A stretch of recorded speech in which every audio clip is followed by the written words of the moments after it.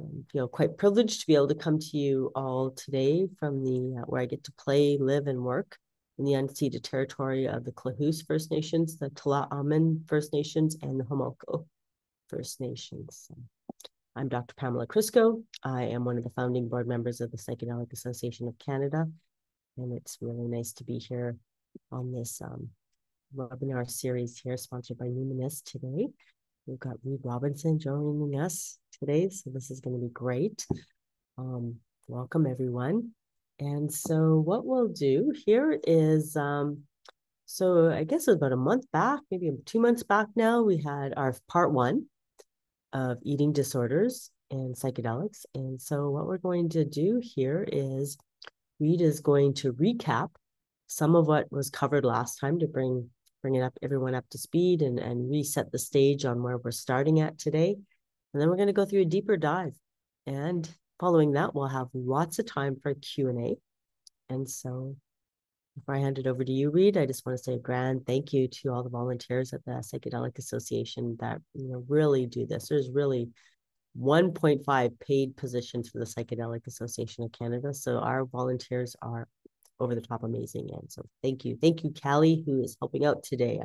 Great to have you here. Wonderful to have you back, Reid. And with that, Thanks.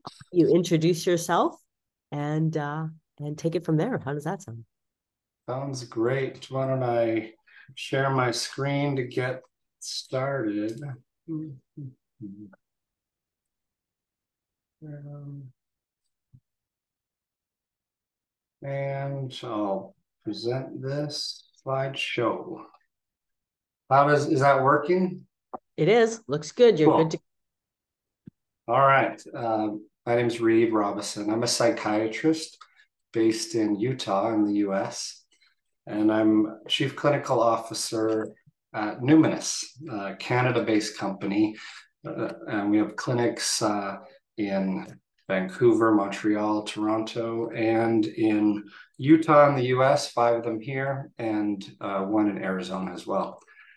And I uh, started my career doing clinical trials in academics, got involved with ketamine pretty early in my career anyway. In 2010 was my first study.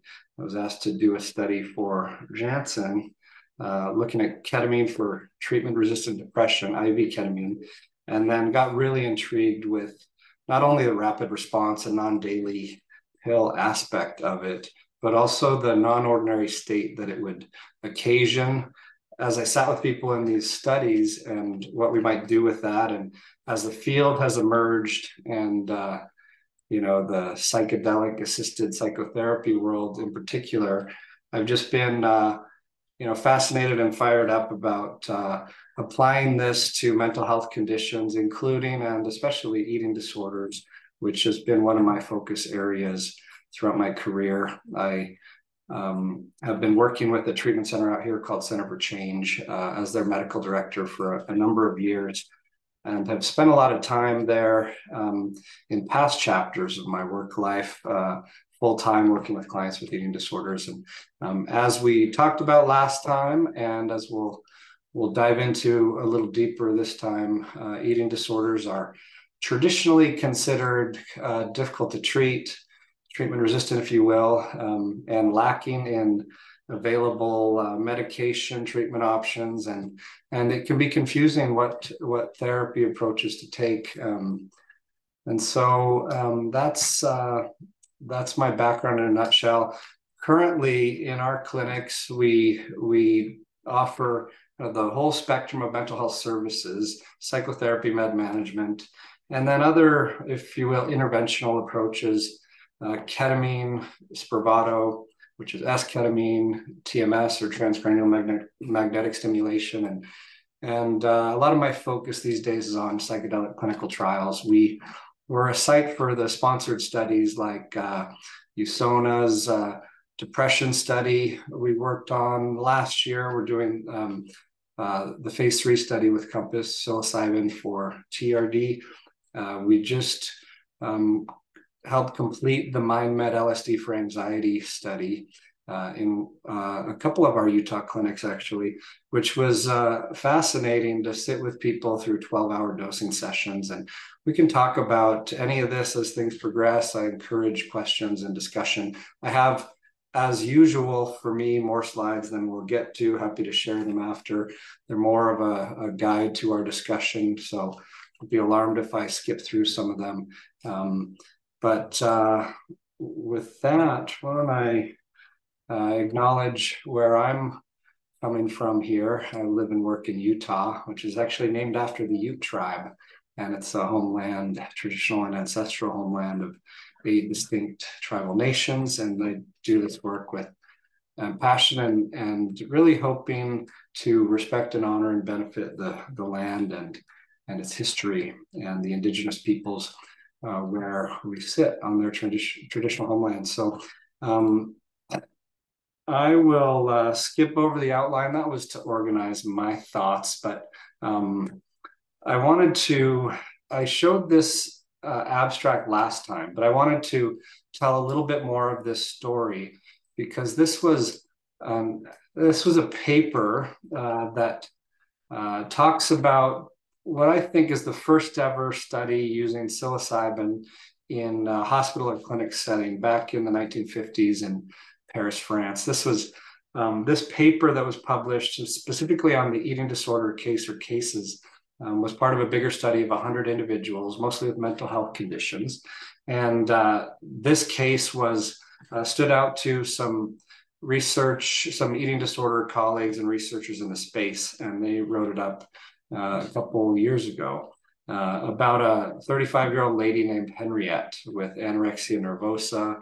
She had a BMI of less than 15, and she was admitted to the hospital um, due to starvation and was put on a psychiatric unit and placed in isolation, put on Thorazine as as was in vogue back then, a new medication on the scene, um, sedating, old antipsychotic. And uh, about three weeks later, no improvement. Um, while still on Thorazine, she was enrolled in this psilocybin study that uh, that came about uh, because of some of the like the relationship between the the docs on, in this hospital and um, Albert Hofmann and others who were figuring out how to you know synthesize these these substances that had come to light. And so they gave her eight milligrams uh, of psilocybin, uh, synthetic psilocybin, um, a relatively low dose, about less than a third of the dose we're using in our psilocybin studies right now for MDD, TRD, and the ones that are fast tracked on the FDA path to potential approval. And so she gets this eight milligram dose. An hour later, she she says, "I think I'm getting better." Didn't look like she was having much of a psychedelic trip because, well, maybe because she was on Thorazine, um, an antipsychotic that you know is known to at least theorized, uh, hypothesized to interfere with some of the experience uh, and some of the, the serotonin receptors, in fact, that psilocybin works on. So she gets back to her room, but uh, even though she didn't display much, she felt euphoric, uh, felt like dancing, felt light. Uh, she later said she heard angels playing the flute, started writing poems of religious inspiration. Um, a lot of a lot different from her usual place of feeling disconnected from the world, um, very over controlled and uh, shut down from a lot of life, her emotions, her spirituality. They uh, heard about her report of the experience, took her off Thorazine, and uh, four days later gave her another dose of psilocybin. And uh, this time off Thorazine, half an hour into the experience, colors changing. She feels like she's in a cloud, starts having visions, hears angels playing flutes, and even um, talked about seeing the agony of Christ and the resurrection, and starts uh, reporting in this vivid detail an influx of old memories that came back, like emotional traumas from childhood. The second dose um, was followed by some some visible, noticeable, uh, pretty near immediate improvement uh, that lasted at least uh, until she discharged. So a month later, a month after the second dose, she had gained uh, 15 plus pounds. Um, but uh, interestingly, the improvements did not last forever. This is a low dose. This was uh, not accompanied with psychotherapy. Um, so some things that I draw from from that experience is that um, with particular application to the eating disorder world is that dose matters um, and uh, the number of dosing sessions matters and these are things we need to figure out as a field clinically and in research um, and uh, the, the number of doses is likely important for lasting effects additionally um, set and setting matter. And they didn't really talk about those things back then. This was just like a new medicine that there wasn't, uh, you know, a cultural phenomenon around yet. And uh, they just gave the medicine to people, shuttled them around to different rooms in the hospital, subjecting them to different psychological tests. Many reported feeling annoyed, poked, prodded psychologically. Um, and so some reported it was kind of a um, dysphoric experience and and so the last thing i kind of draw from this is that the therapy paired with these um, especially in eating disorders it appears to be quite important and uh, these medicines as we talk as we'll talk about um, can be viewed especially in this type of treatment as opening up a therapeutic window to do some deep work and that's what i want to focus on um, somewhat today. So let's uh, get back to my slides. A little bit of recap. Uh, about 10% of people will experience uh, an eating disorder in their lifetime. And uh, yet these are um, extremely under-recognized, underfunded, undertreated, and uh, largely misunderstood even in the even in the healthcare community. And you know, if you it's one of the areas of mental health where um, you know therapists will also say oh i don't i don't do that kind of work. It's really a, a, specialized area with specialized kinds of therapy and and that's part of the reason why uh, wh- why we'll explore some of these conditions and their treatments in more depth. Um, and also because the um, my my view is that uh, psychedelics represent a tool in the toolkit and and will need to be paired with integrated if you will with traditional treatments for this to be you know helpful and and if we if we want a chance at lasting change. Um, and so a recap of the different conditions i've drawn like a, a venn diagram that is not to scale here just to represent some rough uh, prevalence um, numbers um, that we won't uh, focus much on but just to, to recap restricting uh, conditions are where you limit food intake and and with anorexia in particular you have an inability by definition of the disorder to maintain a minimally healthy weight and uh, binging or binge eating episodes it, it consist of rapid rapidly consuming a large amount of food for for that individual uh, with a loss of control during and feelings of discomfort, shame, etc. after. And binge eating disorder is one of the newer conditions, especially among the, the more prevalent ones. Um, and in fact, is um, you know by most people's uh, assessment the most prevalent eating disorder.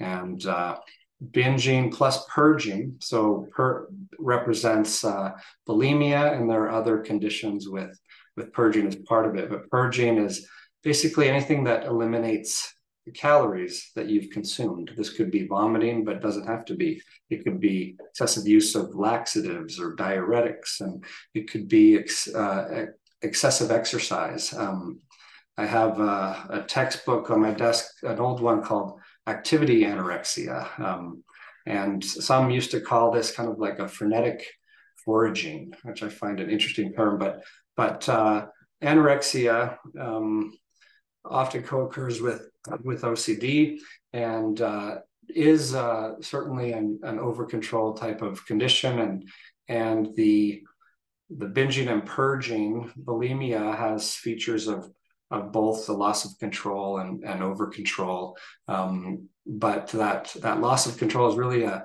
a distinguishing factor between that and anorexia and, and, binge eating. This is also loss of control, like an addictive uh, disorder pattern would be. Um, and so all that being said, uh, there was, um, I wanted to point this study out because it was done in Canada. Uh, 1,500 women were surveyed. I think they had this automated dialer calling homes and asking, you know, if you meet this criteria, are you a, a female willing to answer these questions? And I, and I believe they used the what's called the EDEQ, a self-report, um, very well validated um, eating disorder questionnaire. And, and and of the mean age of these women was 31, uh, about 15% fell into what would be considered a subthreshold uh, disordered eating category. Um, about 5% had frequent binge eating, 10% had either purging or some frequent compensation, a looser definition of, of purging, but like exercising hard or restricting hard to influence your size, shape, weight. And uh, at least 10% had excessive fear of weight gain, fear of weight gain being exceedingly more common. And if you look at numbers of, uh, of, of young women, uh, adolescent females, and uh, and males, um, the numbers are striking and and worsening. In fact, uh, the the rate of body image distress, um, disordered eating thoughts and behaviors is uh, alarmingly high and increasing, especially since COVID in uh, young people. Uh, but before we talk about that and social media and some things, I wanted to point out this, this study that I find really interesting. It's one that could not, would not be repeated these days. It was in the day, the days before the uh, the IRB and ethics boards um, and the the ethical codes of conduct and research that exist today. But um, there was a, a, researcher, Ancel Keys, at the University of Minnesota in the U.S., who recruited 30-something uh, conscientious war objectors who volunteered. Yeah, I I won't go to war, and I'll do your study if you don't get me in trouble. Um, and they agreed to be starved essentially um, using a, a, by being given a 1500 kcal per day diet um, of mostly starchy things bread turnips potatoes and they were on this regimen of walking uh, 22 miles a day. And um, so one of the participants as things progressed as they um, as they lost more and more weight their obsession with size shape food increased in uh, many people there was also a decline in energy. One of the participants, when walking home on this mandatory long walk, um, just couldn't stop thinking about like soda, for example, and, and would go into soda shops and just look. Um, and uh, there are some interesting things like evolutionarily that happen, like when we have clients uh, admitted to an eating disorder treatment area, sometimes there's food stashed away in their suitcase that they would not eat, but uh, there's this hardwired kind of survival um, starvation mechanism that that uh, you know I believe is fueling some of that focus or obsession on on food and and having food available, uh, even if the the mind and the restriction and the over control um, can keep the consumption of those things at bay. Um, and then uh, you know what what was learned from this uh, this study was that uh, even after weight was restored, the the mental and physical consequences uh, remained much longer than that. And uh, as we see in eating disorders these days, like when someone is weight restored, um, the brain is tends to be the last thing to uh, really return to baseline in terms of its uh, cognitive flexibility and and other things. So um, I do believe and have seen that uh, full recovery is possible, but it does take time, and that's an important thing to to keep in mind in doing this work and designing studies and protocols.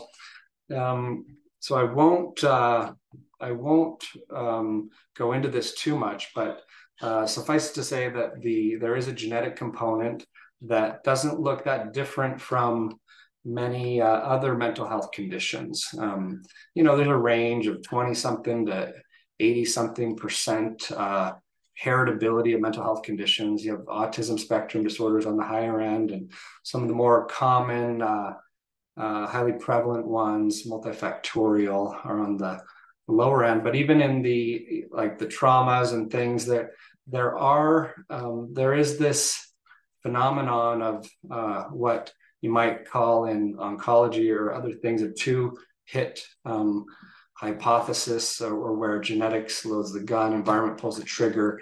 Um, individuals with eating disorders seem to have a predisposition to certain traits. And there's a paper I believe was by uh, Walter Kaye and colleagues of UCSD called like when good traits go bad. So individuals with eating disorders um, are often highly uh, intelligent, capable, um, motivated individuals, and that uh, that drive and persistence in a perfect storm of genetic plus environmental factors can lead to the development of uh, you know an episode of disordered eating behaviors. And these behavior patterns can become quite sticky and resistant to treatment. And um, the other thing i wanted to point out is that eating disorders rarely occur in isolation um, you know over 50% um, and this is a hard number to pinpoint have have uh, a significant uh, history of childhood trauma, such as sexual abuse. It's different by depending on which condition you're looking at, and uh, depression, highly prevalent, anxiety. If you look at some conditions, like I mentioned, anorexia co-occurs a lot with OCD, uh, both being over controlled conditions, and bulimia, for example, binge eating.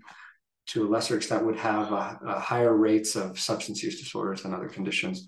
Um, and we'll look at kind of um, a bird's eye view in a bit of what that looks like. But um, Tara Brach is is a psychotherapist and Buddhist meditation teacher. But I think her quote here, when I stumbled upon it once, uh, really made me think of uh, the eating disorder uh, situation. She says that perhaps the biggest tragedy of our lives is that freedom is possible, yet we can pass our years trapped in the same old patterns we want to love others without holding back, feel authentic, breathe in the beauty around us, dancing, eat, etc. Yet each day we listen to inner voices that keep our life small. Um, and uh, we could apply that, of course, to a lot of a lot of things in life. Um, and one thing that really uh, has always drawn me to and intrigued me about eating disorder research and clinical work is that we all have a relationship with food and body. Um, and and if you look at it, um, I rarely find individuals who would even report that their relationship with with their body and food is um, perfectly balanced and flexible and and uh, resilient and like if if someone says that it is, um, it's an interesting thought experiment to say, what would it be like if you gained or lost 20 pounds? Like, how would you feel about your body image then? And many people haven't, you know, whether they have or have not gone through something like that, it does bring up like, like many other things in life, triggers that we have yet to experience, kind of like when you get in relationship and push all these buttons you didn't know you had. Um, you know, I, I see it in a similar way with uh, our relationship with food and body. And if you want to look at this from a spiritual perspective, um, there's a book that's uh, by a gal named Gene Roth called uh, Women, God, and Food. And that uh, is just a fascinating perspective. But I'll just share one idea from that book is that your relation, and she says that your relationship with food is your relationship with God, or your relationship with food is your relationship with everything. Um, uh, it, it's similar to that idea that how we do one thing is how we do everything, um, or that eating disorder symptoms are a window. It's to what's uh, what's going on in our soul, um, and uh, so on, along those lines, um, food we all we all uh, have this relationship with food. And an interest in health healthy eating can become uh, dangerous when it um, masks other worries um, that can't be solved by food or when it crowds out the good stuff or shuts us off from life. And uh, you know, nutrition um, being talked about so much in uh, in healthcare, all aspects of it. Um, yet um, there's this other side of that coin when uh, when good traits can go bad, or when dieting behaviors, especially in people at risk, can um, put people into uh, very dangerous territory. Um, so you know, on the one hand, there's this this positive relationship with food where food may be a, a great source of joy for you uh, sharing a meal with people connecting um, it may fuel your your um, physical exploration and embodiment in the world um, and, and, on the other side that more pathological maladaptive side it closes you off. Um, you, you might be seeking health but finding something that is very um, counterproductive, uh, deteriorate, deteriorating your health, impairing your functioning. Um, and uh, you see this um, unfold uh, where the individual is often unaware. They're either told by a friend or a healthcare provider or um, the media that they should eliminate this, and then they do, and then they uh, eliminate another thing and another thing, another thing, and the the uh, flexibility out there with their eating becomes uh, more and more limited over time. And just like um, when body image distress mounts, it can really not only cause what, what we call in the field body checking, like always looking, looking in mirrors, looking and seeing yourself through a, a distorted lens, but it can prevent you from doing many of the things that you would find joy in life, like going swimming or or going uh, out uh, and connecting with other humans, etc. Um, so that uh, being said, a word on social media. Um, social media. I mean, this research has been going on pre-social media, back in the the beauty magazine days. Like just flipping through a beauty magazine for 15 minutes was enough to, like, to have someone spiral into a uh, negative body image um, state with uh, ruminating on that. And so in, in samples of, of young women, for example, social media was has been found time and time again to impact weight shape concerns and be correlated with eating disorder symptoms. Um, one week of exposure in one study to pro eating disorder website content uh, led to like a 20% reduction in caloric intake in these participants. Um, in a control group that was uh, exposed to other content that may have just been more neutral health and fitness. Um, and so uh, general internet use even is associated with um, body image and eating concerns. And uh, men and women are both uh, both impacted. Interestingly, um, social media has more of a, a link to anorexia and bulimia uh, video gaming, which I guess you could intuitively see um, is associated with more of a risk of binge eating episodes and and uh, video gaming itself can be a pattern that people feel out of control and similar to binge eating episodes. So um, uh, a word on screening. I may have mentioned this last time but um, i talked about the edeq uh, that was done in that canada study there's something out of the UK called the SCOFF. Um, probably one of the older and more validated questionnaires. Very simple.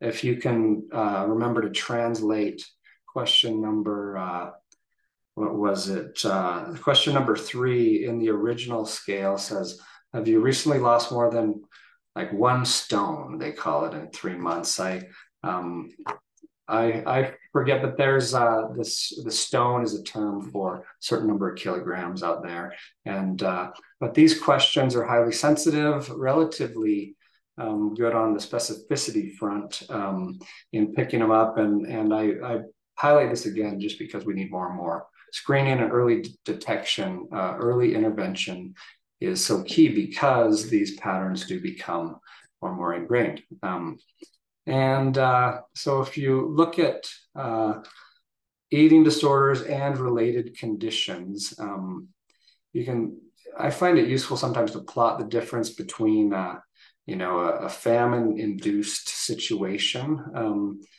and uh, weight loss from a physical illness with anorexia, for example. But uh, I'll just point out a couple things here as we forge ahead. Um, anorexia nervosa, there can be restricting type or binge purge type. Um, and in and they both, by definition of being anorexia nervosa, have the uh, the low body weight, um, where bulimia um, has more of a normal um, or not low body weight.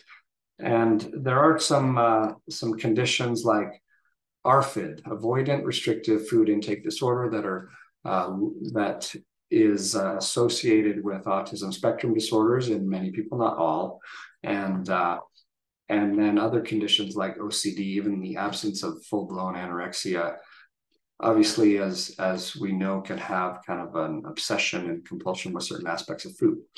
Um, so a little bit on uh, a little bit more on some of these conditions, and we'll talk about how they're treated traditionally and, and the role of the potential role of psychedelics. And so anorexia um, used to be defined differently, but now it uses more BMI cutoffs for the severity. About 1% of women in their lifetime, a little higher on the heritability front. About a third have a comorbid mood disorder, like full blown. Uh, more than that, have an anxiety disorder. And there, there is, uh, uh, besides the, the psychiatric comorbidities, there are a lot of medical um, consequences of this illness. And as we hear a lot, um, in mental health and in the psychedelic field that has been thankfully paying attention to anorexia. Anorexia has the highest mortality rate of any mental health condition, and yet it has zero FDA approved treatment options. Um, there are off label things that we'll talk about. Um, but as the body um, becomes more and more undernourished, the heart rate slows down and preservation mode, loss of bone density, which people are largely unaware of and can have some some big consequences as as as we age in life. Um, hair loss uh, and some skin changes are ways that it can be picked up, similar to how bulimia can be detected by dentists and some of the erosion of teeth from purging, for example.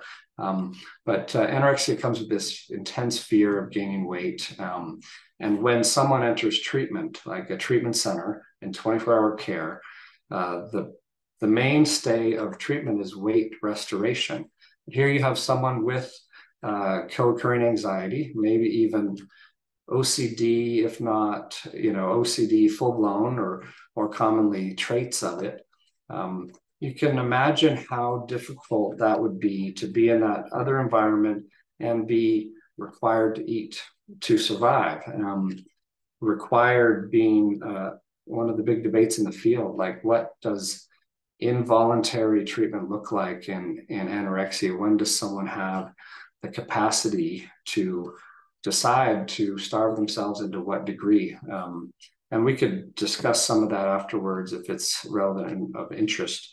Um, but the body dysmorphia and anorexia can be can be strikingly um, uh, distorted. Um, in fact, there are these studies, and we see, see this in clinical groups too, where if you have someone in like a group therapy session, you have individuals with anorexia do either a body tracing, like draw draw what they think their body looks like on a giant piece of paper, then lay down on it and see how that compares, or take a belt and tighten it to the um, the circumference you think your waist is, and then hold it around you.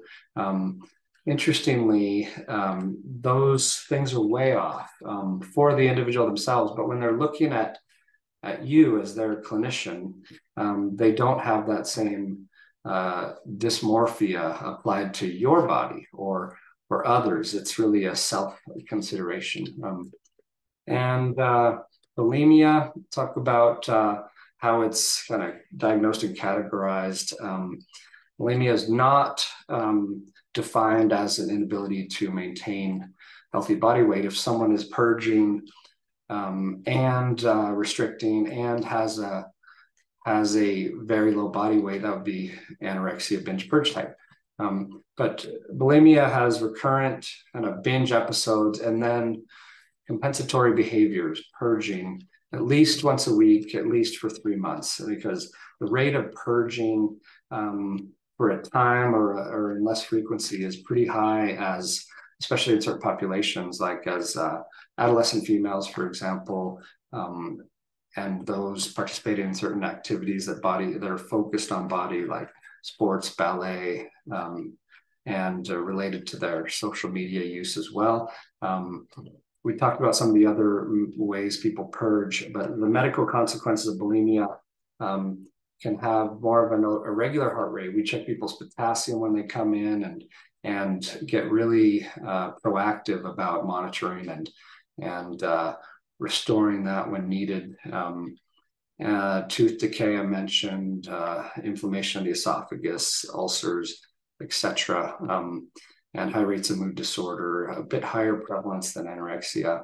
About 50% are are only purging by vomiting, um, a lesser amount, say vomiting, laxatives, um, and then uh, and then bulimia without purging is is less common, but certainly exists. And and sometimes the laxative use can uh, escalate to alarming levels that are hard to imagine. But I've seen clients come in who are taking dozens and dozens of laxatives a day, some who would get up to 200, and some who are just so close to the uh, so close to uh, the toilet all day because of the amount of laxatives, as you can imagine, um, is is extremely disruptive to not only their physical health but their their life functioning. Um, and so, binge eating disorder is. Uh, uh, I mentioned uh, what a binge episode is, is like that uh, you know, there's often a trigger, um,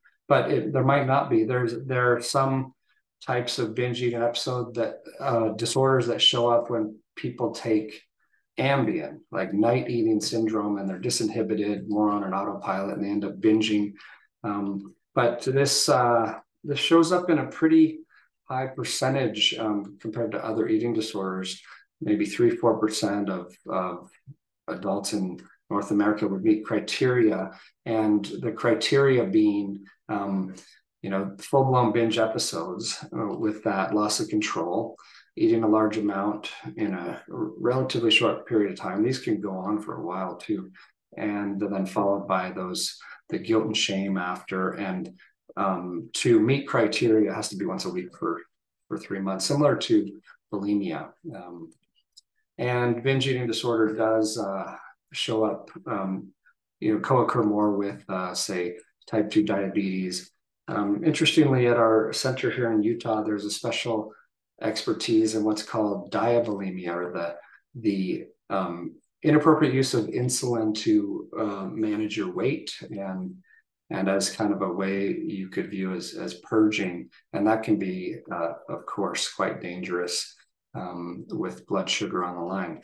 Um, and so I'll skip over the DSM criteria because we will look at those. But um, I think we talked about last time that uh, prevalence um, and some markers of severity of eating disorders are have been increasing in recent years, and and COVID really magnified this. Um, like uh, um, a big uptake in admissions, calls to crisis and helplines focused on these kind of things, and uh, um, really uh, a great kind of shake up or magnifier of some of the some of the symptoms that were uh, maybe under undetected underneath the surface um, and uh, a little bit on the the neurobiology of of food and eating disorders um, to help guide our discussion um, so normally when you're hungry um, dopamine is the molecule of more and motivates us towards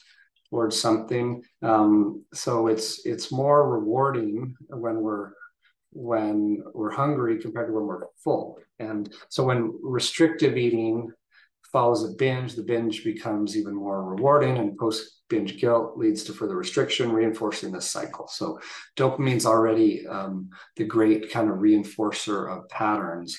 Um, and so in bulimia, the reward pathways are are you know, in some studies, more active um, than controls when viewing food, recurrent purging. Um, also has an impact on acetylcholine. We'll talk about a little bit um, where the high levels are signaling something unpleasant. Um, and then, oop, okay, I just did something with my screen here, but um, so in anorexia, over time, you get this decreased sensitivity to that feeling of reward with dopamine, uh, and then related to um, this restrictive eating behavior pattern, there's uh, like a lot of fear and a sense of punishment around food. And um, there's a lot of an emphasis on uh, the the long-term weight loss, keeping that at bay, and uh, decreased cognitive flexibility as the brain gets more and more malnourished. That is hard to um, get out of. It's this um, kind of cognitive phenomenon that some would call set shifting or cognitive flexibility is an early thing to show up in malnutrition and one of the the last things to go away inability to see the forest from the trees in the face of food even if you may have said um, time and time again all day leading up to that moment that you want to eat you want to get back on track with your goals when faced with that food all systems on board saying in kind of a fight or flight way, do not eat that. Um, it becomes kind of a, a life or death type of situation in their in their system. Um, and culture, of course, has really um, not been helpful uh, in so many ways on um, how we view food and, and body. So um, let's uh, forge ahead here. Um, so this is kind of a, a bird's eye view of what's what's going on. You have these these uh, pre-existing traits, if you will, like anxious or obsessional ones, risk factors. You might be very rule rule oriented, uh, risk averse, um, like emotionally uh, self-regulated, over-regulated, if you will. Um, and then in the face of kind of stress or other situations, say a move, an early puberty, uh, participating in one of these activities, uh, a family, a relationship change or trauma. Um, you got these these factors and this perfect storm leading to using food to try and control what one can, what what one feels like one can. So eating disorders very quickly uh, beyond that are not a conscious choice. Um, well, one might make a decision to engage in a restrictive, like a, a diet or restricting what one eats um, for a brief time. You know, these do quickly become kind of subconscious and uh, ingrained. And uh, as we've been talking about, um, the cycle kind of continues and deepens. Um, so, dopamine exists you know i the way i see it is to propagate the species. Like it it points us towards the things like food and um, and sex that uh, lead to survival of us and our and our family our species. That highly rewarding reinforcing the mechanism all uh, fine and good in um, in days when you need to get out there and forage and and connect with your your tribe or another human to reproduce and all that. But but these days, um, with uh, with the way food exists in our culture, the way media uh, portrays bodies and things like that, it's a whole different ballgame, full of these landmines and different considerations than they had as these things started to evolve. Um, so let's uh, let's see, I'm going to skip over some of this stuff so we can get into the psychedelic discussion and leave plenty of time for questions, but happy to share the slides if anyone would like to like to look. But one thing I'll mention from a, a paper on eating disorders, neurotransmitters, and acetylcholine is uh, regulation of habit formation is key to eating disorder treatment and recovery. So while this wasn't from a, you know a psychedelic paper, it might get the wheels turning of of why these things might be useful. Um, and uh, so let's talk about how eating, I'll, I'll, go through this pretty quickly, but how eating disorders were treated traditionally, starting with uh, medication management and just the the treatment setting. So, um, you know, mild or subthreshold eating disorders, disordered eating behavior patterns can are often first treated outpatient. And then at a higher level of care, there's intensive outpatient, might be in there a couple hours, a few times a week. Day treatments looking like you know, six hours a day, five to seven days a week. Residential care, you're in there in 24 hour care, sleeping there, groups and and visits and unit programming. You might be there for a month or two. Inpatient is uh, where, with the highest level of care um, for those who need, especially medical stabilization, feeding tube, etc. Um, as I mentioned, no FDA-approved meds for anorexia. Bulimia has Prozac, and binge eating disorder has Vyvanse. Um, we are there. There has been a very early uh, preliminary small study of psilocybin for binge eating disorder that I'll talk about um, and uh, we're doing some other studies with uh, binge eating disorder coming up soon out of our research clinic. Um, sponsored ones, not of our design, but uh, one psychedelic, one not. Um, and uh, as I kind of alluded to, the whole idea of like involuntary treatment is is a big debate and very state dependent in the U.S. I'm not as familiar with how that's um, being done in uh, in Canada. But there's also a debate around uh, around palliative care and uh, how much to push this, um, and some of the other more uh, invasive things like deep brain stimulation that it has been used studied for OCD, for example. Um, eating disorders are best approached with a multidisciplinary treatment team. There's often a like a, a physician or or psychiatrist um, as a, you know a, a, key part of that, and a, and a psychotherapist, dietitian. Um, there's a typo in that dietitian here, but uh, it is it is a teamwork approach that I quite uh, enjoy and was uh, really really uh, a fun part of of working with this, a collaborative one of you know working with um, all the different specialties and focusing on all these aspects of one's life, um, but but also a needed part because of um, you know it's not just a psychiatrist you need on board. You need like a, um, primary care or internal medicine specialist, to, you know, ideally with uh, knowledge and comfort around um, doing the frequent EKGs and labs and monitoring for the medical con- considerations. But but uh, all this to just say there's a we need to have a sense of, of urgency um, around detecting and intervening on these. Um, and uh, and this is how I'd summarize uh, what treatment looks like. Is uh, the the main pillar is uh, for restrictive eating conditions like anorexia would be weight restoration.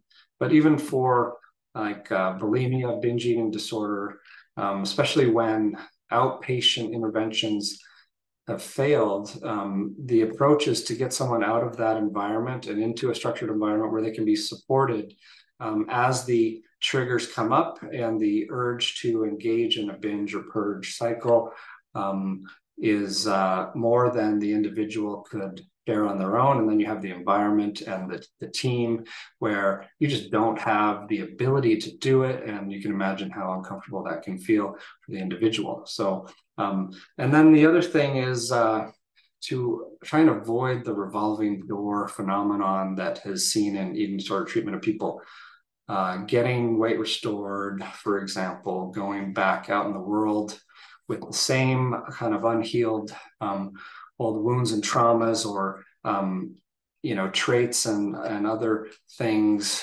really uh, at risk for uh, for showing up again in a big way and the right stressors um, people can bounce back over and over to treatment and and the overall course can can decline.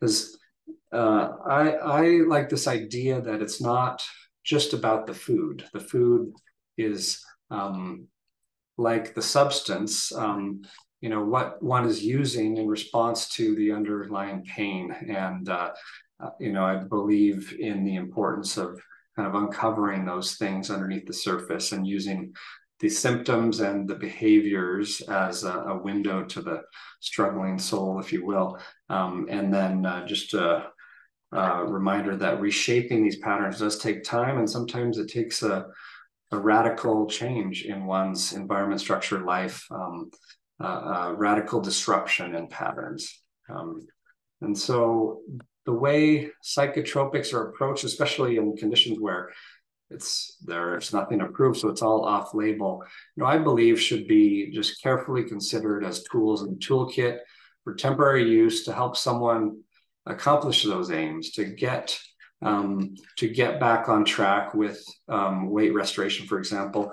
We know from the uh, kind of the um, literature that's been around for a while and and is growing that antidepressants, for example, um, don't work as well when someone is extremely malnourished. You know, maybe the building blocks and and uh, kind of receptor activity and things like that are are not as uh, are not as um, prone to be treated when one is starved. And I had I wondered about how this would play out with when I started working with ketamine with with eating disorders, but there's no real evidence to say that that applies. Just some mixed opinions and theories, but but uh, I think everyone agrees on the fact that uh, weight restoration is is uh, a key part, at least to um, a certain degree, in the treatment process for undernourished conditions. And it's hard to do much when you're in that starved state, as we saw in the uh,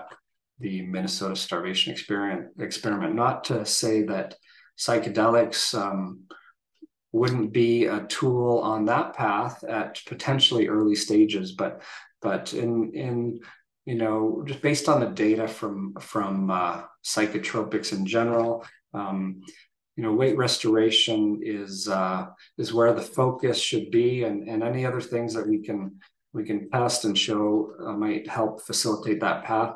Great, and just like we might use um, temporary, um, as needed anti-anxiety treatments for someone's full-blown panic as they face eating food um, or you know trying to keep that feeding tube in and running for example um, and then there's this overall um, feeling in the field like exists in mental health more broadly but perhaps even more in eating disorders that that psychotherapy is key and uh, and medications uh, are always better when paired with psychotherapy and, and especially with eating disorders. And there are some special considerations like Wellbutrin has a black box warning for eating disorders. It doesn't specify, but the data comes from bulimia and Wellbutrin increasing the seizure threshold. It's a highly, it's a dose dependent thing. Like the seizure threat, the seizure risk of taking 150 milligrams of Wellbutrin is quite different than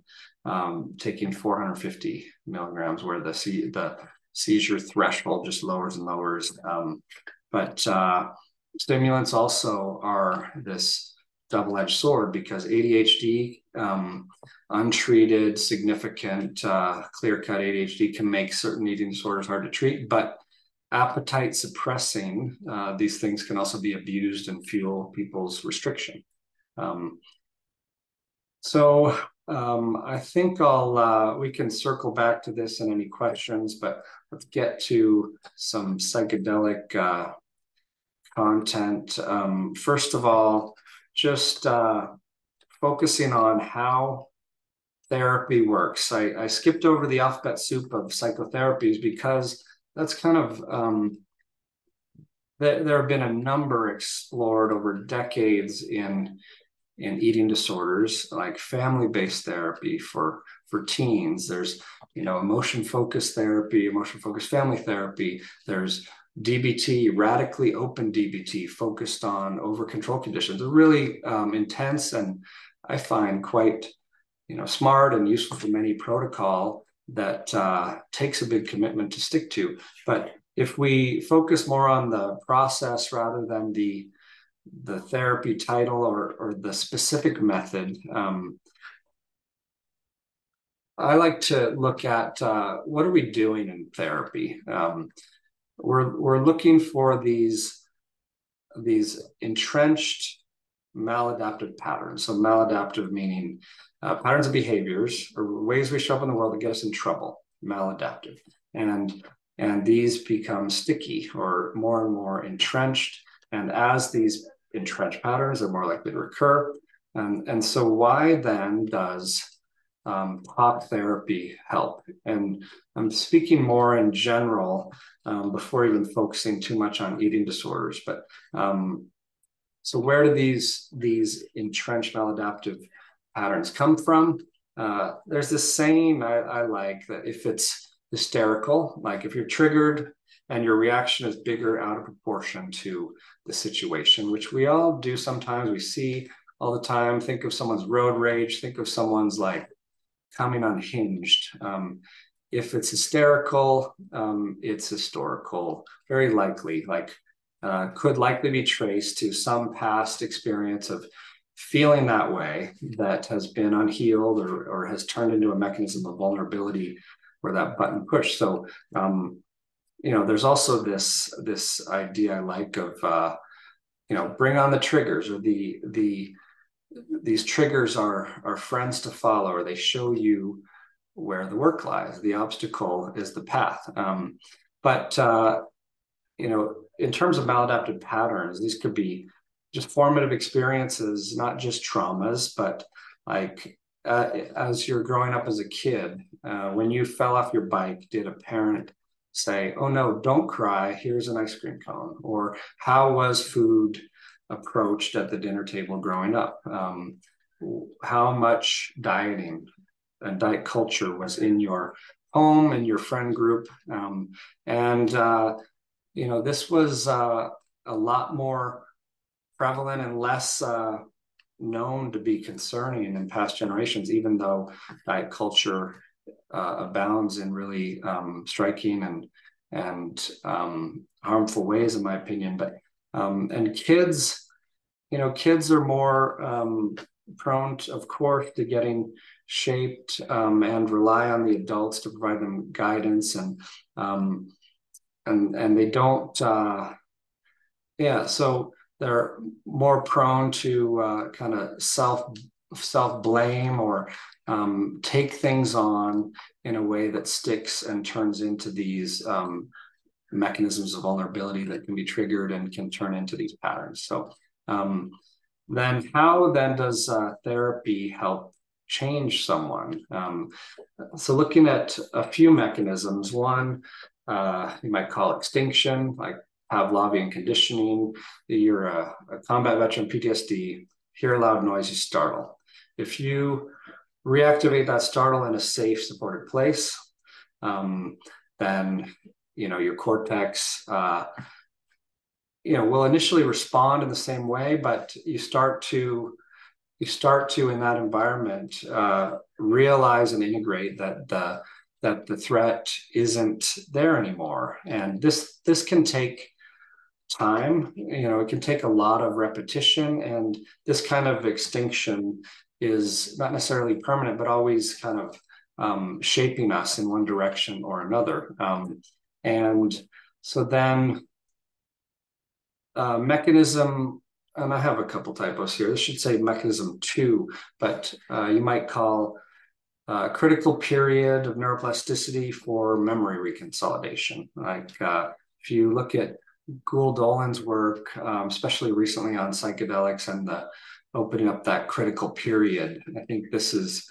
um, this is uh, why that might be so helpful in um, treating mental health conditions and other things with psychedelics because when the original pattern um, is activated or in this state um, there's there's when there's a prediction error out there in the world um, there's a chance to reshape the hierarchy inside of us of how we automatically respond especially if we shine a light of awareness on it and are working on that, the activation of the pattern needs to be kind of significant significant enough to create the uh, conditions for change, but then it can be a more lasting mechanism of change. And um, another another part of this is like cognitive dissonance. You know, that inconsistency among belief and behaviors that becomes um, uh, that we become aware of can create this psychological tension and uh, the brain then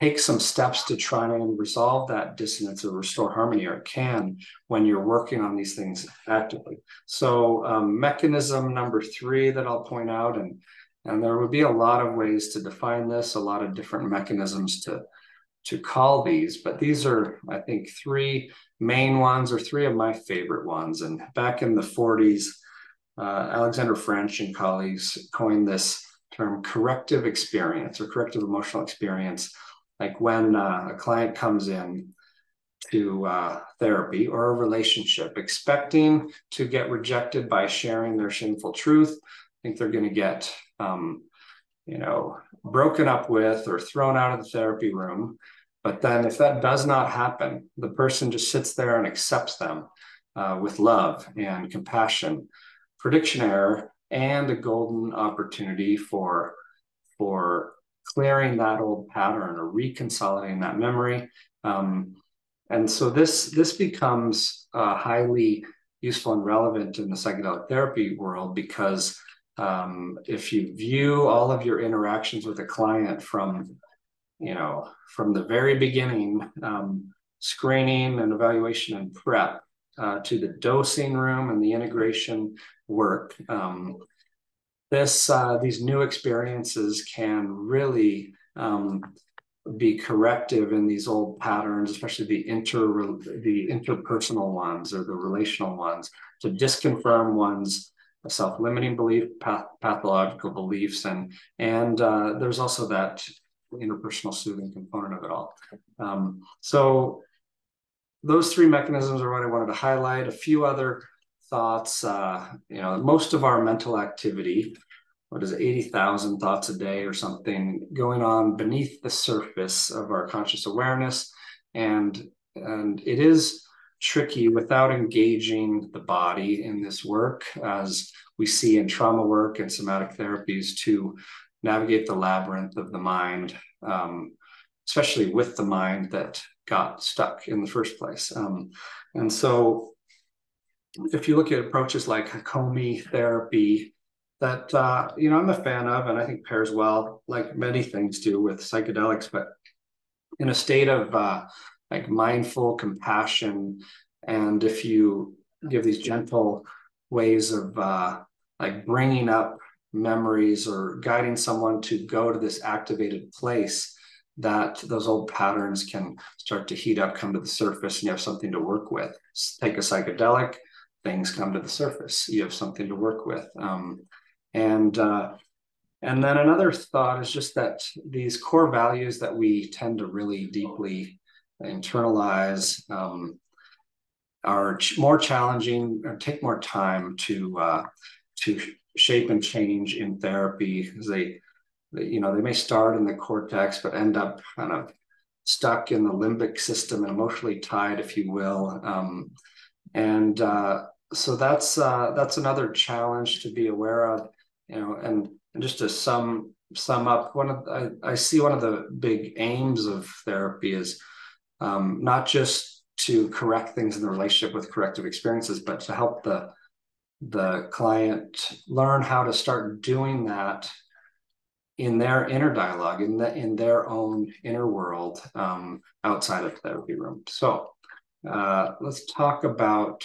psychedelics and eating disorders, and uh, hopefully soon get into some some questions discussion. But um, if you were to take time out of the equation, like if depression, some might oversimplify, regret about the past or stuck in the past, anxiety, worrying about the future. Take time out of all that. Um, and uh, things tend to get a little more similar like if you plot conditions on this spectrum of of loss of control on the entropy chaos side and, and over control on the other side. So say psychosis being a loss of touch with reality. Um, you know, you're having nightmares or binge eating patterns, substance use, depression cannot um, get out of bed or, or put one foot in front of the other in some ways, like an, uh, a loss of control or, or entropic state. And then the over control you know, excessively worrying and trying to control for that, obsessions, compulsions, anorexia, restrictive eating um, would be on that uh, rigidity part of the spectrum. And I bring this up because, um, well, one other kind of background concept to re revisit is um, this entropic brain theory. There's a great paper by Carhart Harris and colleagues called that. Um, and the free energy principle that it's based on is is um, takes this stance or assumption that you know we're wired in our systems to uh, reduce uncertainty um, because that's uncomfortable and potentially threatening. Um, so the brain's always updating this hierarchy of of mental models, predicting what's going to happen based on our priors, if you will, or the prior beliefs, and and these are layered on each other in a hierarchy. And take in the sensory input, like what happens, touch something that hurt, file it away, don't touch that. Um, touch something it didn't hurt. Oh, there's a chance to refile, reconfigure um, on a day-to-day basis. Um, and uh, the higher level levels of this hierarchy send the predictions down. The lower levels take the sensory input in. When they don't match, you have two choices. You update your prior beliefs, your you're filing away of, of what you think is going to happen and how you're going to behave, or you can just ignore it and keep your old priors. This is done beneath the surface in, for the most part, and um, and in eating disorders, depending on which one, like anorexia would be a, an example of ignoring the sensory inputs and, and maintaining, giving excessive weight to the patterns that might restrict. Um, and why is this relevant? Because of uh, the other part of that entropic brain theory, uh, REBUS or relaxed beliefs under psychedelics that um, that is this idea that psychedelics will reduce the, the weight of these tightly held priors, these rules, restrictions. Um, uh, a metaphor might be that they heat up the structures so they can be shaped or more plastic. Um, so they can bend and not break. Um, and as the brain cools, that neuroplasticity window um, winds down, the hierarchy reforms, and hopefully in a consciously reconfigured way that's adaptive and not maladaptive. In theory, you could reshape your patterns in a negative way, right? As we kind of imagine from using psychedelics unwisely or or um, things like that. So that's that's why then do psychedelics show show promise for both ends of the spectrum it's it's a really interesting question but but on the the rigidity front the over control they can relax the strength of the top down prior beliefs like i can't eat that because it will make me gain too much weight. They give more emphasis to the sensory inputs like ooh mindfulness eating am i full? Do i enjoy this? Should i keep going? That that state of awareness that gives you the choice based on sensory input um, they can um, in this theory help with that so um, let's uh, switch gears and talk for a sec about the mystical experience uh, the mystical experience and uh, how that plays in all this but um, you're probably well aware of this really interesting experiment uh, in Boston back in the 60s. Walter Pahnke, Dick Alpert, aka Ram Dass, uh, Tim Leary uh, were involved in this study where they gave 30 milligrams psilocybin to 20 Harvard divinity students who went into this this uh, Marsh Chapel, kind of basement chapel in the divinity school, and uh, they received this lecture from a you know a well-known eloquent uh, pastor the sermon and there was a choir. And uh, this was this was a placebo controlled study which when rick doblin did his like uh, graduate thesis and he published this um, he uh, found that uh, nine out of ten who received psilocybin reported a genuine mystical experience one of the high points of their spiritual life. What i find really interesting is nine out of 10 of those who got psilocybin went on to become ministers, pastors in the profession they sought out um, versus zero out of 10. I know it's a small study, can't conclude a whole lot, but it just fascinated to me uh, how it deepened their spirituality and the path of pursuit in that without kind of people ask, oh, we're running out of time. I uh, I am going to wind down momentarily, move into questions. Do we have until I was told we have till till 6:30. What is our I mean 6:30, so 5:30 BC time. When do we need to wind down? By the way, maybe someone It- can it's- refresh. Five twelve BC time, so we're Okay. eight- eighteen Okay, we're minutes to get finished. All right. Yeah. Thanks for the thanks for the reminder. So we measure the mystical experience and now the uh, like the challenging experience or emotional breakthrough and can see that higher scores um, on the mystical experience, especially when combined with emotional breakthrough or a challenging experience can lead to more lasting change. Um, so when there's that non-ordinary state taking us outside of our our day-to-day waking consciousness, our ego, and um, you do some kind of emotional workout or face something difficult, get some confidence of getting the other side. That's where the magic lies. Um, and so, so all all that to uh, lead to this little summary of why might psychedelics be helpful for these conditions is um, creating um, well, alleviating some of the symptoms by the, the cognitive flexibility, that rigidity we're talking about, um, the bringing all systems on board, back in your body, um, reconnected with emotions, going to those memories that that were pushed away, and then inducing this brain state that might um, accelerate the therapy or make it easier to receive, especially in eating disorders. So, um, with that, uh, why don't I just uh, wind down there with slides and open it up to chat about questions. Great, Reid. So we, yeah, we do have some questions that are popping in here in the Q and A. Um, and uh, what would be, oh yes, will you get recordings in the slides? Those will come up. Um, I think why don't we like jump right in there and and what why don't you give us like one or two cases you've worked with? Like give us give let's illustrate for our audience like how yeah would move in. I mean, a, a, so much of the research out there has really just been focused on the, what are the symptoms, but not really the trauma, the seed, what starts that all, whether it's family Yeah. systems, whether it's eating patterns, whether it's trauma. So yeah, here we go. You got a case up here. Why don't we move through this and then we can open up some some questions here.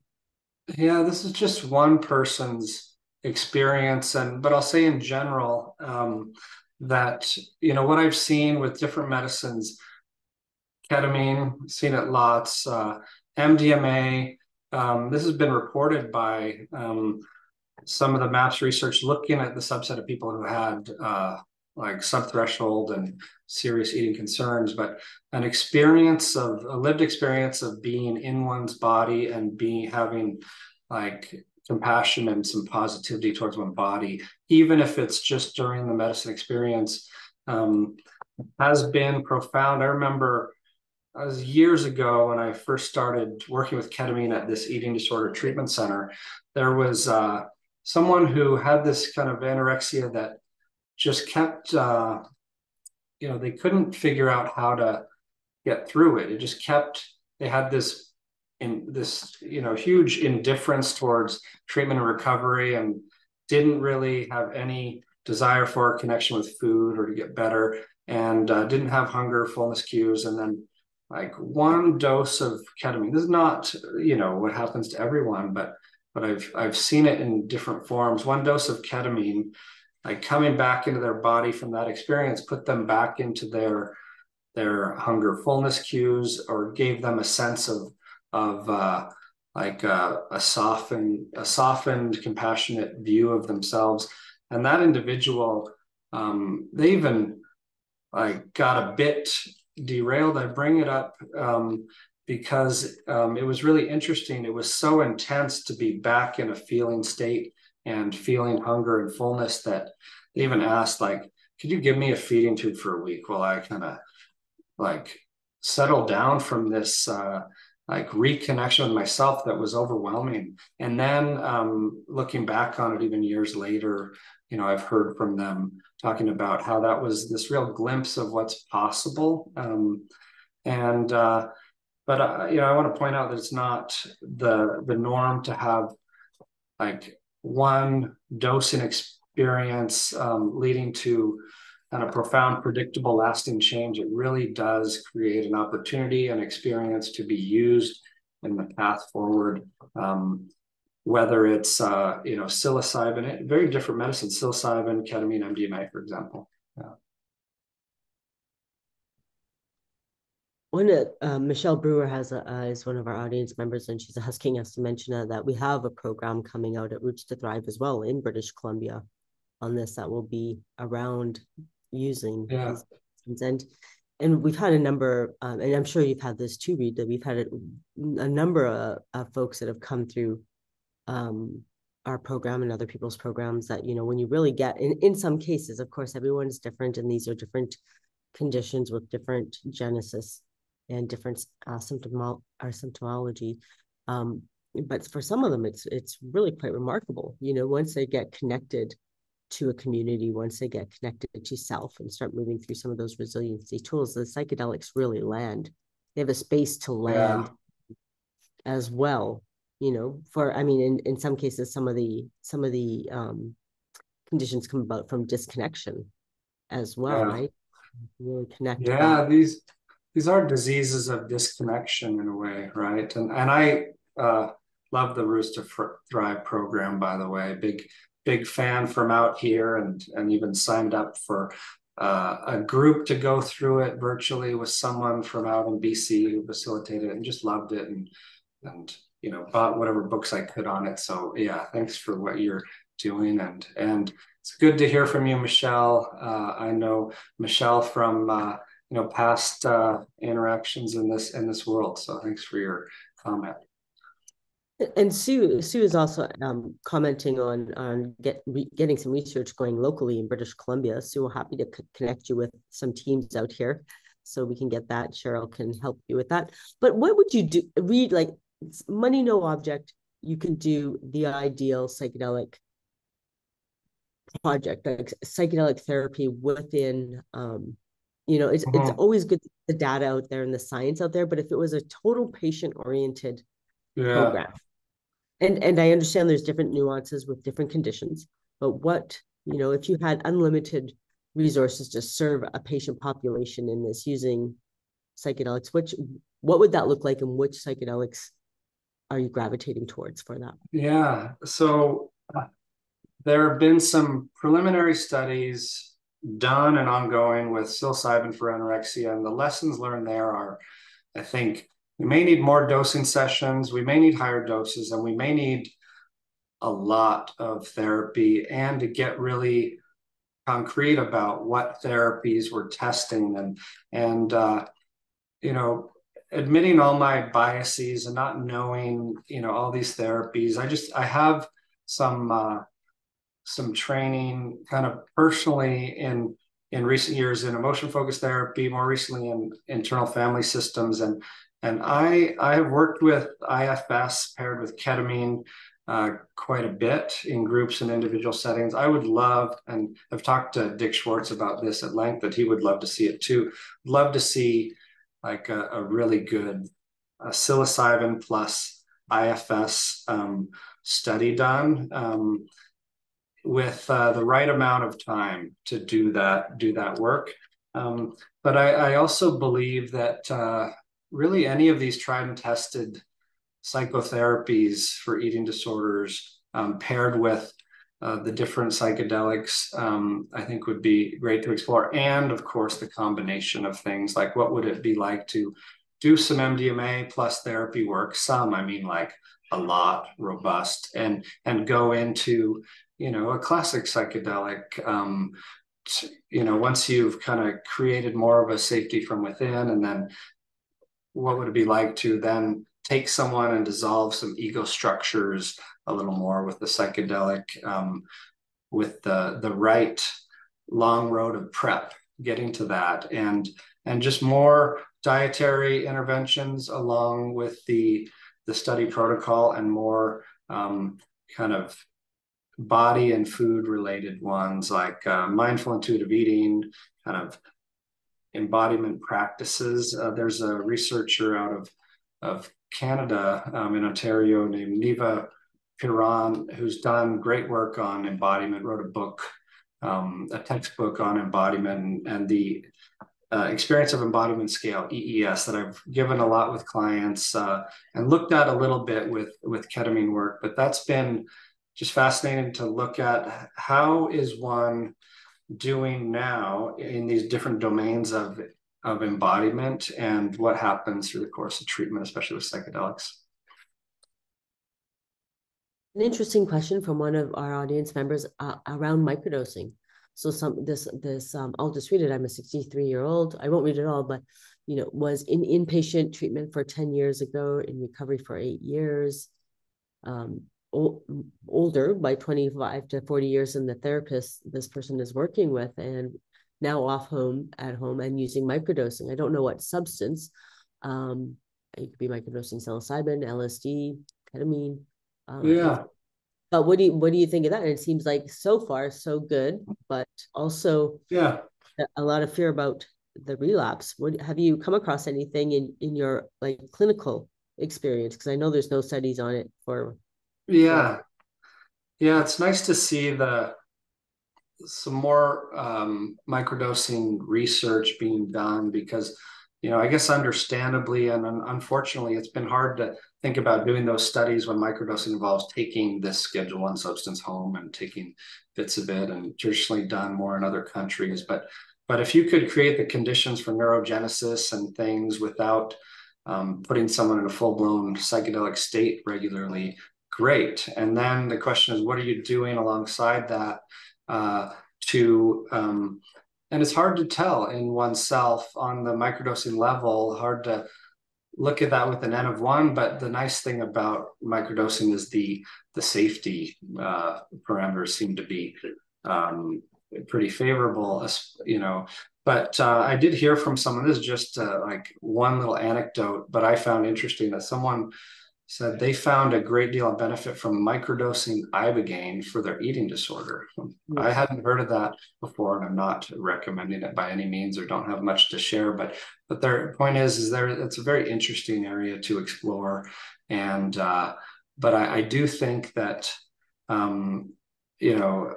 And I think most would agree that the microdosing for eating disorders may be a tool and uh, another accelerator on the path, but but uh, but it's really got to be with a focus on the reshaping of the the disrupting reshaping of the patterns and the rehabilitating of one's relationship with those things yeah.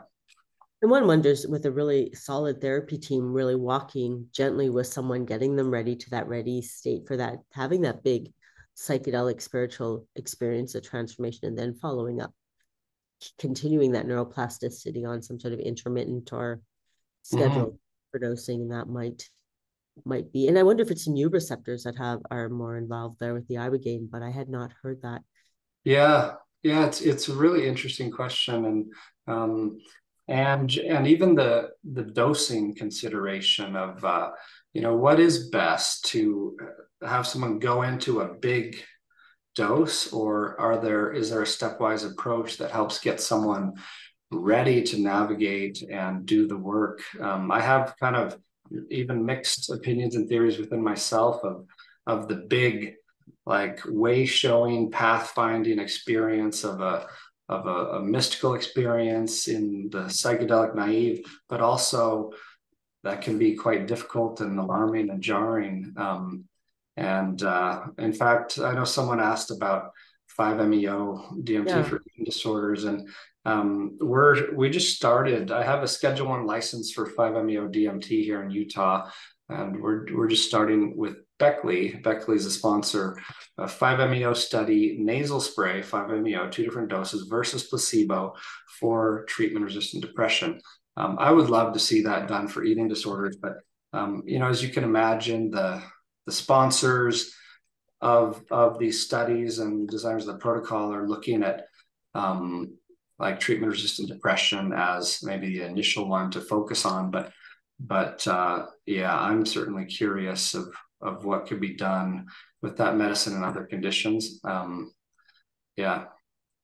Well, and it really begs the question that if you have good clinics doing good work, like the, the double, like the placebo controlled double blind, these these control trials are excellent and they definitely mm-hmm. move the data forward. And if you've got a really good clinic that is doing yeah. Therapy that you could, you can, we need more of these prospective observational studies. Like here's Reid's clinic in Utah, and this is what they're doing. And now let's look at the outcomes and yeah. use move the bar because these medicines are complex. People are mm-hmm. complex the, the challenges are complex and our studies are are very reductionist right it's a pharmaceutical yeah. model mm-hmm. the reductionist of you can have one problem one intervention and and then but you don't do that in in real life with mm-hmm. a patient yeah I, I completely agree i love real world studies and kind of even though it is often retrospective in the way we do it i love to like like you're talking about Pam. Like I've seen from coming out of the Roots to Thrive work, um, real world data that is actually done in the complex real world humans and environments that we cannot do like the study protocols and these sponsored like FDA fast track studies are so intensely protocolized um, by definition out of necessity that we just exclude so many people. They're so expensive and and uh, it's hard to get the big numbers. But I am uh, the compassionate use, expanded access approaches you have available out there in Canada. Um, you know, I'll admit I'm I'm jealous of and excited to work with Canadian colleagues on these um, to be able to leverage those um, outside of studies legally. And I know there are other ways and jurisdictions, but but yeah, I agree. More work of doing this in a good way and more sharing of that information with each other would go a long way. Right, yeah. And and there's a couple of few mm, few more questions here, but you're in a you're in a place where the TDA exists, the the the Divine Assembly. What do you think of churches being able, like in the U.S. You you like in Canada we have some ayahuasca churches and we have some uh, clearance for traditional use um, in some other medicines, but very strict. It's really, really hard to get um, any of the other church exemptions. But the U.S. has been brilliant at getting mm-hmm. church. There be a could there be a, a, possibility for that for people to in the U.S. to come together under a sacrament? Yeah, I mean, there people are doing it in Utah. Colorado has been doing it for quite some time, um, and I, I last night at one of our research clinics, we had an open house. Someone from the Divine Assembly Church who sits with psilocybin clients was there and really talk. I was asking like, does do, does uh, the state, do the police, the regulatory governing powers that be come come uh, knocking at your door often? And and uh, I said so far, even a few years of existence, they're just you know recognizing that there are other um, problems, drug problems to go after and focus on. And they, they've just continued to be able to do this work. I, I don't know how to really kind of merge these questions and and worlds uh, beyond just um, like all coming together in these forums and sharing ideas but like a, a, church isn't a clinic a clinic isn't a church but we have often very synergistic overlapping aims and intentions with helping people with these tools. So yeah, I looking forward to the design divine assembly meeting in January. I don't know if you'll be coming out for that, Pam, but uh, but they'll be organizing a panel and maybe some things will come of that. Yeah, I think we're gonna have some interesting conversations around that. And and it's interesting too, like the part of the the sacrament part, I think I find this really interesting is like it's only in the last few hundred years where we've really removed our any level of spirituality from mm. medicine, right? Yeah. And and it really, you know, now we're in this sickness care model. And so you have to be unwell to get access. Whereas, you know, if we had removed these last few hundred years and we were still in our communities, we would be, you know, there would be rites of passage and, and maybe we'd have be having more access to whatever non-ordinary states were closer to home for yeah. each of us. There's a question here uh, from Jade. Thanks, Reid. Do you have any thoughts on the potential correlation of eating disorders and the influence of popular culture and psychedelics' current influx in the relevancy in popular culture? Oh, thoughts on the correlation? Okay, and psychedelics' current influx in, yeah, I would. I'm trying to uh, make sure I understand the question because it sounds really interesting. But um, Pam, do you have a, a sense for what what we're getting at here in the psychedelic? Well, I'm, I'm not sure if it's it's I'm not sure if it's the the indi um how popular popular culture is influencing eating disorders, which you've you've covered. You've said like yes, uh -huh. it uh-huh. does. Um, and psychedelics current influx. Like, are we seeing the maybe it's uh, Jade? Are we seeing some clarification here? You might want to type some more but are we seeing like that now we're looking at psychedelics to help with eating disorders because both are in I, am sorry if i'm butchering that jade let me know uh, one thing that i didn't have time to go over is uh, a paper that came out last year that you may have seen on preparing for the bursting of the hype bubble in psychedelics by Yaden and, and Roland Griffiths. Um, was a senior author on that and um, uses this Gartner cycle of hype to show that uh, that how how uh, you know things the media has really blown up these things in ways that might be counterproductive if we're not careful and we need to really ground everything we do in in uh, an appreciation of both sides of the coin and and all these perspectives and not ignore the risks that exist, but really keep um, keep studying, exploring in good ways the potential benefits. And and I do think there are a lot of far-reaching um, ripple effects of the the psychedelic uh, culture.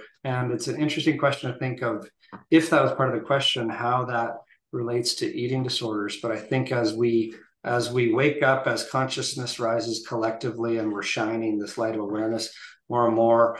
That's one that uh, you know I I already see people paying more attention to is their relationship with everything. Like um, I know personally in my um, you know in the last decade of working with and and exploring um, however I can these medicines. Um, it's certainly given me this stance of like why is this going into my body or my mind or what is my intention here and just having more of a, a mindful awareness of things and i and i hope you know i hope we we can just see that expand and spread i'm trying to is there any way to unmute jade so she can ask the uh-huh. question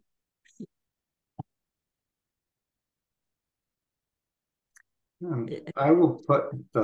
The question there. I was just wondering if Reid had any thoughts about if there are any correlations, uh, any correlations with psychedelics and eating disorders and their involvement in media and pop culture. Um, so, correlation with psychedelics and eating disorders. Yeah, I. It's a good question. Um, and uh, I don't know. I'd have to think about that to be honest. But uh, yeah, it's a really interesting one. Um, and I don't really have one to uh, share uh, off the top of my head, but uh, but I, I, do like getting stumped on questions. So thank you for that. Um, and I will, if it's okay with you, Pam, put the link to the slides in this chat. Is that all right? Yeah, um, absolutely. Absolutely. Well, thank you so much.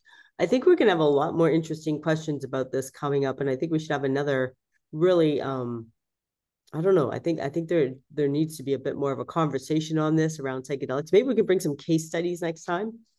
I'm yeah, really, yeah, that's a good good point. Be, it would be really interesting because I, you know, there's so many different permutations, and and maybe we can really look at like where are some success stories because I think you know, the, food is hard because you can't live without it. It's not like other challenges yeah. in this world. And uh, if we can, if we can mm-hmm. really shine some light and some hope and some options and some directions where people can find support and find this, and get researchers together too. So if you're in Utah, get a hold Yeah. of Reid. You know, look at this, like this, the- these things need to be studied and, and in many, many uh conventional and unconventional ways, I think, so. There, oh, oops, I put, I put in the chat, the slides went to hosts and panelists, but let me see if I can just put it to everyone. Right, here they come. There we go. And uh, I'll put my email there just to wind down. Um, Great. And we'll, I'm glad we'll add so all that much- to the, show- yeah, add all that to the show notes. Thanks for your time tonight. Thank you, everyone, for joining. Thank you to the volunteers that make all this stuff happen. You guys are fantastic. And uh until next time, thanks for having me. It's been, it's always fun. have a great night, everyone, Take care. wherever you are.